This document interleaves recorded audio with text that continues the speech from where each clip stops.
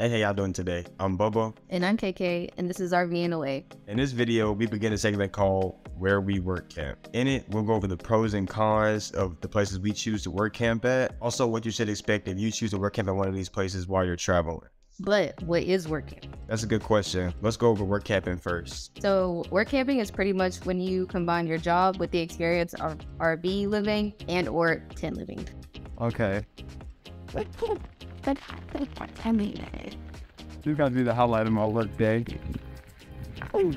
So you trade hours on the clock for utilities, a site to stay, and usually some type of wage or pay, but that all depends on the job. For example, like a park host, you pretty much open the gate and allow people to come into the park, and in exchange for that, they give you a site to stay at. There's not too much more to it. Have a site for sewer, electricity, water.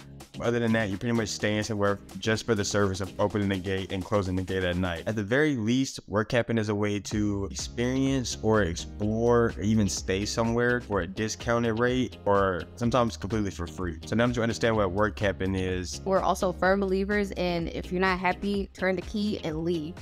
Get out of there. If you're not happy, then there's there's really no point. Whether we stay and work there for a week or a year, it'll be in this playlist just because we want you to understand that some things aren't as transparent as they appear, and some jobs are even better than they could even describe in words. So we really want to give you an idea. We don't want it to be cut short, and so we don't give you a video because that's not fair to you guys. The point of this video is to be to rate each job in five categories worth 10 points each. You have five categories and each one can be 0 out of 10 points. So, you want to get a perfect score of 50. These categories will include location, and that's relative to stores and nearby attractions. Compensation, aka the sites, amenities, the attractions, and the leisures around the area. The crowd also, so pretty much guests, co-employees, management, pretty much just the entire crowd that goes into the area or the job. And then also the job itself. So, what you actually signed up for and, and how it actually is.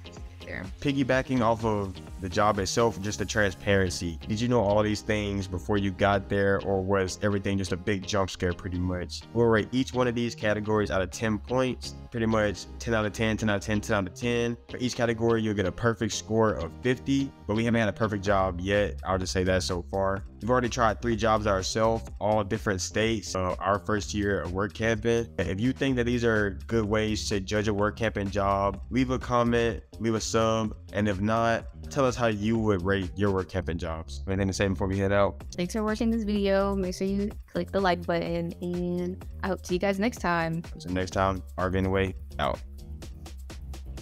Yeah. Yeah. There's some.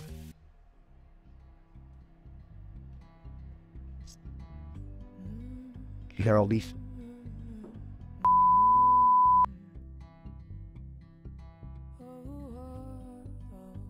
That's why I was I want to do the same thing.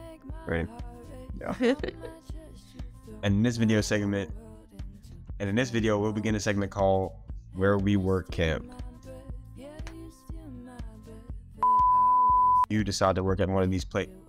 Also, what you should also what you should expect if you decide to work camp at one of these places yourself. Whether whether that be that's my part. That's Barb. Just reset. That's how. That's you saw me the first few times. We'll also get. Let me try to get. That is hard. I know.